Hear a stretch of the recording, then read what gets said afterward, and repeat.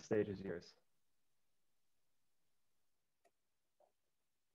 Great. So thank you, Nathan, uh, and welcome everybody once again uh, for our fourth knowledge sharing session.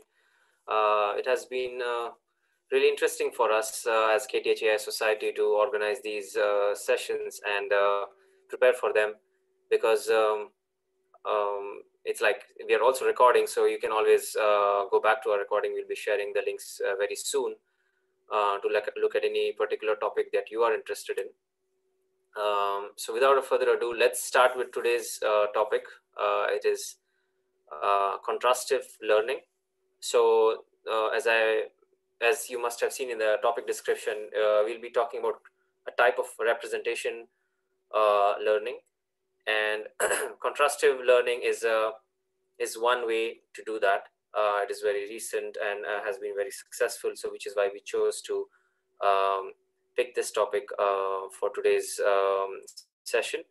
And uh, we'll be, so today we'll be focusing on one framework uh, which has like got the best uh, results and is the state of the art in this field. Uh, and then we'll be comparing uh, this framework with other frameworks that has that we have seen these publications, especially in the last two years. And somewhere in the middle of my presentation, I'll be um, giving you guys, I think, about two to three applications, uh, how this can be used in the real world. So um, this is how, uh, so let's, let's begin with contrastive learning framework. Uh, if you are interested, you can always uh, look at this paper by uh, Chen Ting. Uh, it is called SimCLR, the simple framework for contrastive learning of visual representations. So this is, uh, this is from 2020. So uh, this is the structure. Today uh, we'll be looking at some key takeaways. Then we'll set the premise for our uh, topic. So there's this data revolution and growing needs.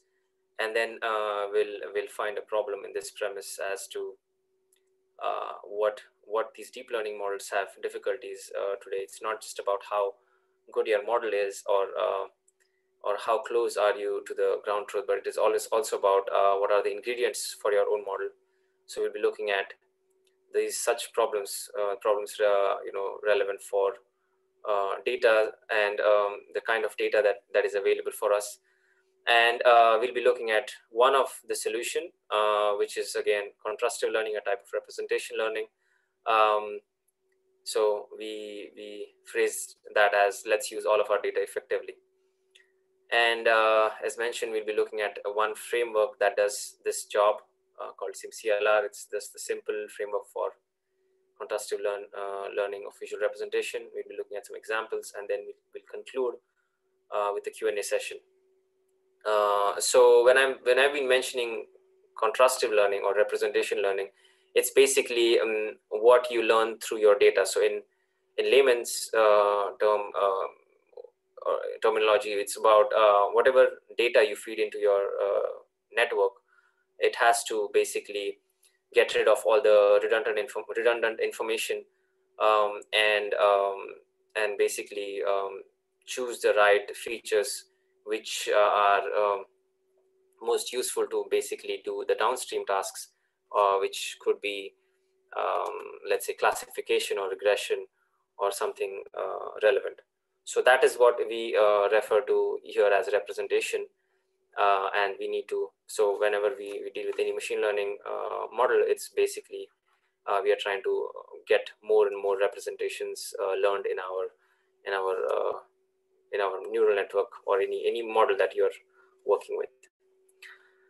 So the key takeaways are obviously the big data revolution is a is a double-edged sword. So it has on, on one end it's it has changed the way we look at many applications today, uh, many applications that we use on a day-to-day basis have been like radically changed uh, due to um, these um, research that has been done in machine learning, deep learning, and all other relevant fields. But then it also has uh, many challenges that uh, we have been uh, we have been facing quite recently, or like getting to know about these challenges uh, more recently. So we need to find ways to to deal with this challenges. So uh, as, you, as you see on YouTube or any other social media platform, we have uh, immense amount of unstructured data that is not labeled. Uh, and we need to basically find out ways how we can use such uh, such uh, such amount of data effectively. So um, so the problem again reiterating that that we have insufficient uh, label data and it involves um, manual uh, labeling tasks. Uh, I think you, if you are in this domain, you must have heard that there are many uh, larger organizations hiring uh, people to just uh, label the data using different tools. And there has been research, I think not recently, but a few years ago, there have been um, good amount of research where people have worked on just developing these tools, which can, you know, just effectively label your data. But now, um, I think um, we uh, are looking at alternative methods which are more efficient. So how can we even not label and still be able to um, capture most important features? So uh, I've been mentioning uh, quite often that we need a lot of data. So let's look at one interesting example and, uh, and look at how much data did they need. So OpenAI is a company from uh, the Silicon Valley and uh, they recently modeled uh, they recently published an article on gpt-3 which is generative pre-trained transformer type of recurrent neural network. It's the version 3 and what it does is basically the language model. Uh, the simplest example could be uh, when you use gmail or uh, when you're typing in your own phone using this google key- keyboard keypad it basically you know suggests you the next word. And this could be also and it also it's also very effective even if you're uh, writing in, uh, in a language which is which is kind of mixed when you in your own native language and english. So for example when i'm writing in hindi and english uh, it, can still effectively remember based on my you know previous inputs. So this is what like one example what a language model can do obviously it can do much more complex tasks so when this model was trained it needed 175 billion parameters. So parameters are something that you learn uh, when you are basically fitting your model uh, with the with the given data. But what's more, uh, what I want to highlight here is what was it trained on. So here's a list of things. Uh, common crawl consisting like 410 billion uh, encoded tokens. Uh, where um, so just I mean what we can instead of going in the details of what each word means, we can just look at the numbers. So uh, just to simplify it quite a bit for you, token would be like some string of characters, basically, let's say a word between spaces. So four, 410 billion of common crawl, 19 billion tokens from something called web text, another 67 billion from books, 3 billion from Wikipedia, and God knows what else. So this is what they needed to train this GPT-3. And uh, yes, now it is. It has made the, the headlines and uh, everybody is basically talking about it you know you if you follow the right people youtube must be filled with um, videos of talking about gpt-3 and its capabilities and so on so this is what we need and this is kind of the data uh, we need to come up with the most uh, effective or at least the the models that would change the game and so we need the data but um, that data needs to be labeled because I mean, there has been research. Uh, obviously, one can argue that uh, there is something called un- unsupervised learning. We can do clustering and so on. But I mean, uh, research is driven by, um, you know, uh, novelties and how effective are you uh, on that approach, uh, and how better are you from on that approach based on the previous results. So, um, this is where um, we we would like to address this. That how can we label this? And often the times the labeling process is manual. It's time expensive. It's man- manpower expensive. And we just need to automate uh, this process. So for this i have uh, let we can play a little game. Um, so this is one of the so this is somewhat rele- relevant to the the research that we'll, we'll be discussing today. Uh, so this is a very um, you know um, predefined example it's not uh, very broad but i mean i think it should it just like um, gets the idea. Um, it, it tries to, I mean, I'm trying to explain the idea through this example.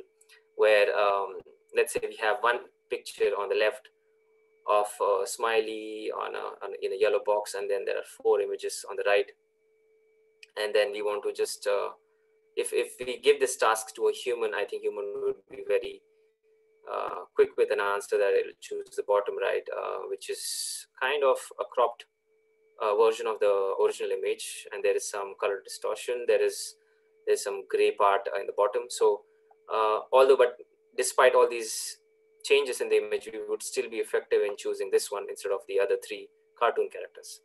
So uh, today's example is going to be somewhat revolving around uh, this kind of task.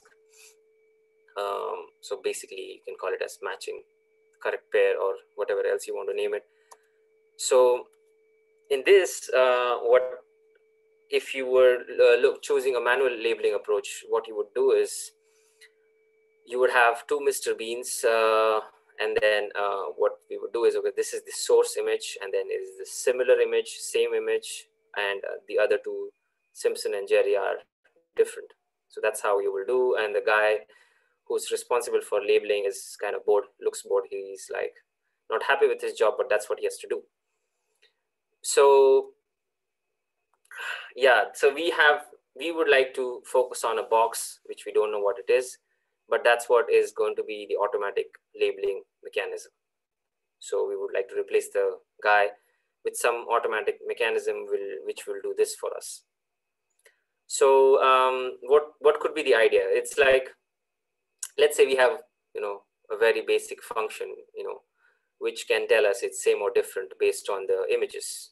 And we can use always uh, some some uh, neural network models which are called encoders which uh, is uh, in, in a in simple words it could be like something like dimensionality reduction, we have an image which has three channels, red, green, and blue, and then we basically take these values, uh, pixel values, and then we reduce the dimensions by using a neural network which acts as an encoder, and then we get a like a lower dimension of a representation. And then we say, okay, how similar or different are these two representations from each other?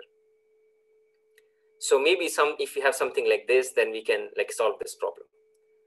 So yes. So that is where we come to this point where we say okay we have an idea which is called contrastive learning.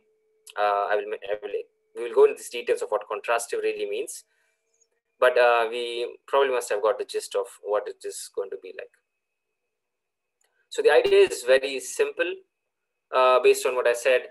But then there is some logistics uh, how do you define the problem? How do you set this up? How do you train? And so on. And obviously with any uh, neural network based deep learning problem uh, we always have these uh, you know uh, intricacies and we have to like look into those. So that's what i'll be doing um, with the simclr framework. Um, so i've broken down the original problem in four subparts uh, and we'll be looking at them one by one and then we'll look at the complete model in the end. So let's begin with an image. Uh, we have an image the same smiley face on yellow box and then we do some kind of transformation so as on the top, you see the transformation is that we have cropped it, we have changed the color, uh, and then we have also like tried to fit it back in the original dimension, but then uh, there are some pixels, uh, especially this area in the in the bottom, which doesn't have any color information. And the second transformation is different than the first transformation. Again, we have cropped, but then we have inverted it.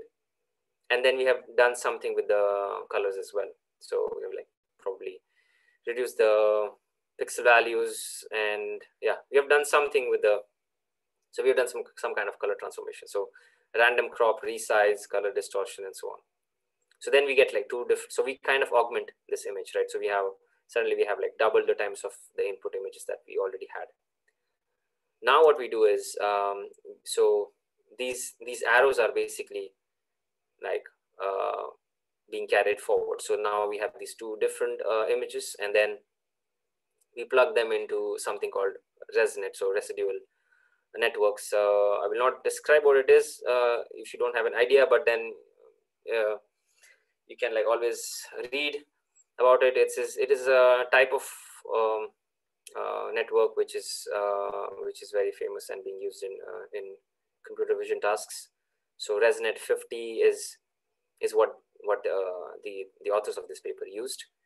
And then um, so then this is this is basically what an encoder is right? So encoder i should have drawn like a funnel kind of structure here because uh, what it does is like it reduces the dimension of your image and then you get like a, a lower dimensional dimensional representation called latent representation which looks like i'm sorry for the image looks like a battery here. So hi and hj represents each of those images that we saw in the previous slide that comes out from something called pooling layer. And then we get that representation as h uh, index. So far so good. Uh, so the next thing what we do is now we take that representation and plug it in another uh, single layer neural network. Uh, they call it projection head. Uh, so this is a mlp with uh, ReLU activation.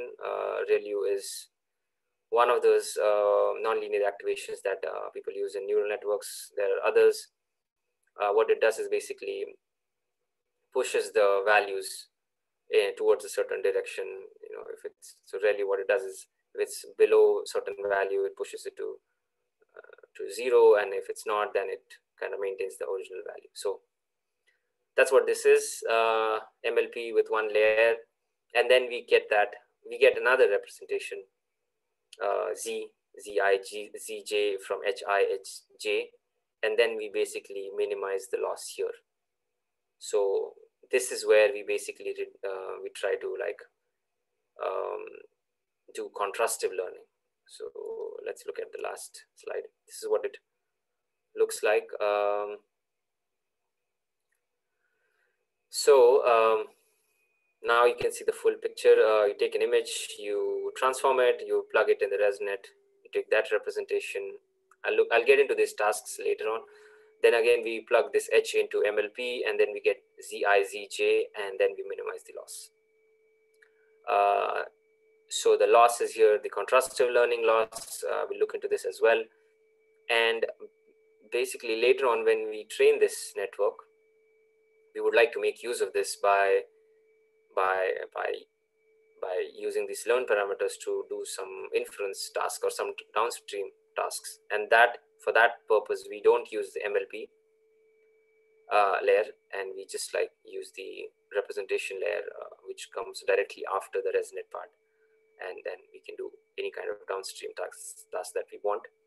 Uh, there's a bit of a theory behind why this is done in this way uh, you can always you know get in touch with us. We can discuss this because this is a very interesting topic for us. So uh, yeah we love to discuss. So if you if you're interested in theory why is it done done in this way? You know why did they use mlp with one layer? Uh, can we exclude that part? Can we not use the mlp or can we basically use the representation after the mlp will it work fine with the downstream tasks uh, these are very good questions if you if you if you come across. And if you feel that you need to find answers for these definitely you can look on the internet or get in touch with us. Well um, so this is how it is trained. Uh, and the, especially the contrastive loss or the contrastive learning that i said uh, that happens after the mlp is is again something like here. This is again a simplified version. Uh, where I previously mentioned it, it could be same or same or different, and now I say okay, cosine similarity, but although it's not the final case, but um, we can also imagine something like we have two vectors and then we take a dot product of these two vectors, normalized vectors. Um, what we get is, uh, let's say we do have we have two vectors, we get values between for a simplified first, you know, vectors lying in first quadrant, we get uh, values between zero and one. So uh, if they are orthogonal uh, to each other, then we get like zero. If they are uh, closer to each other, the angle between them is uh, acute or small, and we get values close to one. So the loss function there is again something like that. Uh, it is kind of a negative log of this term here. Uh, it looks a bit complicated, but then you can imagine the same or different function is an exponential function.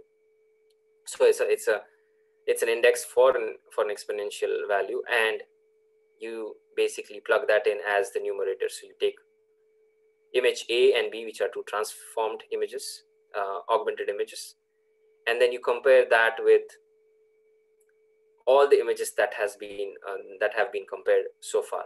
So um, this is how more or less it will look like. And then basically you do this twice. So because you're not only comparing a with b but you're also comparing b with a and so on so you get a numerical value for this and this is your loss function value this is your cost for the for the model uh, and then what you do is you basically work on that through training and then you can use a lot of other techniques to to uh, basically improve the performance of your model. But this is what uh, the, the objective function looks like.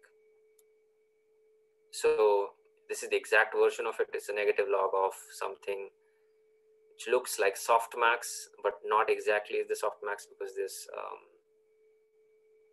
yeah, because it's the similarity index between the two latent representation, which is also divided by a temperature hyperparameter but uh, nevertheless, uh, the output should be something like this here. So you have a source image and you have all a bunch of other images, right? You have got Simpson here, Jerry, Bean, and Aaron, other transformed version of the original image. And then the output should be like the value for that image is the highest as compared to the, the other ones. So you can like define a threshold and say uh, the image here is basically similar to this one. And uh, as mentioned, uh, we should do it twice because we are comparing A to B and again B to A. So again, this is a very, very simplified uh, representation. Uh, I'm sorry if you get annoyed by this, but um, you can say that uh, there is some hypersurface, there is some boundary between your classes and then you know, ideally you want all the red dots to be together and green dots to be away from them. So the contrastive part here is that you train not only to find all the similar images be clustered together, but you also focus on uh, trying to force the dissimilar images being as far as possible from your from your own cluster. So basically, you're putting efforts in both directions in order to like you know um, eh, in order to get the best performance. You're you're trying to bring the similar images together and dissimilar images as far as possible so yeah. What can you use it for? This is the more interesting part. Uh, before i get into the applications um, i want to reiterate the fact that we don't use the mlp and the representation that come after that. So we don't use z or yeah zizj we use hihj and uh, this can be used for um, different um, tasks like scalable framework for hyperdimensional environment, complex stuff, uh, multi-class object classification, online adaptation, and disentangle the abstract dimensions that matter. So we'll be looking at one or two examples from these. And um, yeah, and you can also um, basically change the dimensions of the of the resonator itself, right? Because now more or less it looks like this part, the encoder part, is very very important in this in this model. So you can always change the, the hidden vector, uh, the, the hidden layer dimension. You can change the width of this network and you can, you can do a bunch of other experiments to see what fits the best. And I will, I will come back on this uh, in, in the last, I think, last or second last slide, like how does it matter if we change the width or the uh, size of the hidden layer and how, how does it affect the performance of the model. So let's look at the first example. Um, so, okay, I'm sorry, the title is misleading, so don't look at that. But uh, this is again um, um, a self-supervised learning project. You can always look at this project on sermanet.github.io imitation. Uh, we'll be on this slide for some time, so you can note this down if you're interested. So what they do here is they also include the uh, the temporal factor in, in the problem. Now, you're not just looking at the representation, the visual, rep, the basically training your contrastive loss network on a visual representation, but also now you have a temporal factor in, which uh, makes it even more interesting because now you can basically take the video stream of the same action being done from two view view frames, right? So this is like probably taken from the front of the person, and this is taken from the opposite side. And the person is kind of doing the same thing. But then uh, what we can do is we can have an anchor point, which is here. So we are like kind of looking into this as an anchor point, and then we say that frame in the other video stream could be your positive uh, class for this anchor point. And then a frame sometime later on where you know the mug is the glass is fully filled and then there's no more liquid in the in the white glass then that is like a negative because that kind of represents something else so that could be your negative uh, class. So this is a bit more extended version of the previous loss that we saw now because we have to include this temporal factor. So we what we say is we increase the uh, similarity again between the anchor point and the positive class by this part here while decreasing the or by, by increasing the dissimilarity between the anchor point and the negative class and then it's basically uh, adjusted by some margin and then some other hyperparameters but then this is what a triplet loss looks like so this is um, one of the example where we can use the uh, we can use this contrastive loss kind of networks for in a real-time application. So we can we can say that okay, in these two video streams, the action that is done by maybe the same object or group of objects is, is the same. The second one is uh, again uh, again the extended version of the previous slide uh, that uh, this is some interesting research that happened I think also in the last year that what we can do is we can use videos from two so two video streams from same object from same uh, subject or uh, maybe we can also use the simulation video like sim simulation video streams. Or in the in the right here you can see we can only use single video. And then uh, the network bit becomes a little bit complex now. We're not only using the time contrastive networks TCN but we are also using uh, we are also combining that with the reinforcement learning approach, where um, we first learn the representation uh, using the TCN, but then we plug those representation as as one of the inputs to the RL model, uh, the reinforcement learning problem, which is another type of machine uh, machine learning domain where uh, the progress is driven by the agents or the subject's experience in the environment. So we kind of like um, effect, the agents get affected by the rewards or the penalties uh, by the actions taken by the agent in the in the in the environment. So such representations are uh, one of the inputs to your RL problem, and then it learns some policies the way you set this problem up to animate uh, characters in the virtual world. As here you see the simulation, so this person is trying to like do something like squats, free weights, uh, free body squats. I mean, something like that. And then the animation in uh, the simulation is very close to that, uh, although the, the morphology or the structure of the body is pretty different. And then uh, they also can do this regression over by like doing the control, like regression to join the controls. So to, to control the joints of the virtual agent in the real world here. So uh, this is this I found very exciting, so I wanted to include this example here.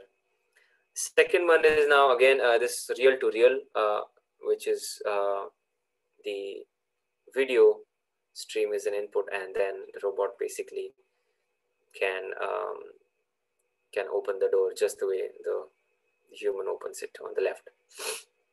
So this is what uh, we this are one of some of the interesting examples of the applications. Obviously, there is always further room for improvement. Um,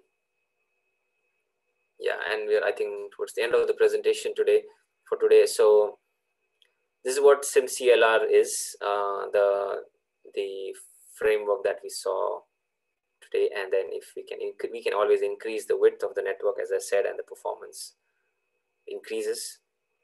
And uh, pay attention that uh, if for for 4x SimCLR, it is very close to what supervised learning does, which is a really uh, fascinating uh, thing to look forward to because now the unsupervised learning approach is getting closer and closer to the supervised learning.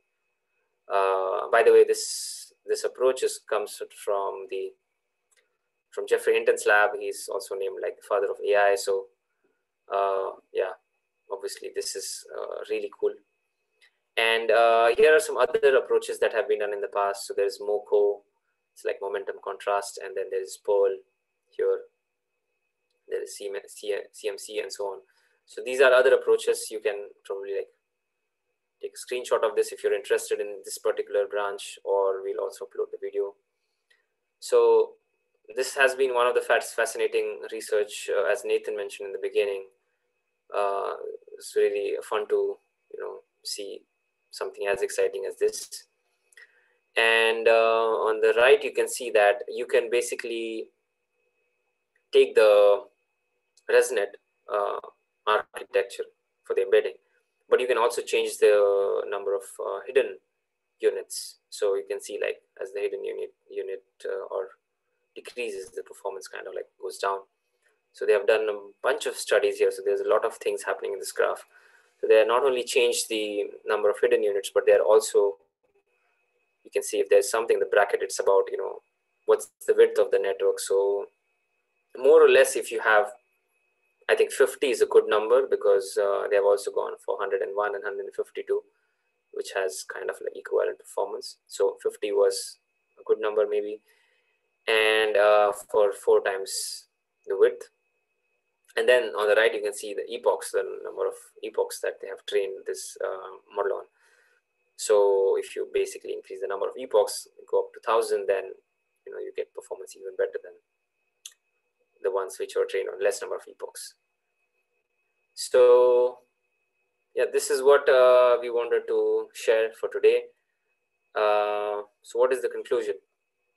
So we kind of like go back to our main point. We need data, but we need we are starting to find ways to deal with this lack of high quality data properly and then there is definitely a room for improvement maybe we can extend the existing formulation we can come up with something even more interesting. And then when we do this we get very cool results just the way we, i showed you. So that was it for today. Uh, and thank you for attending today's session. Uh, feel free to get in touch with us through the kthais.com website or the email mentioned here.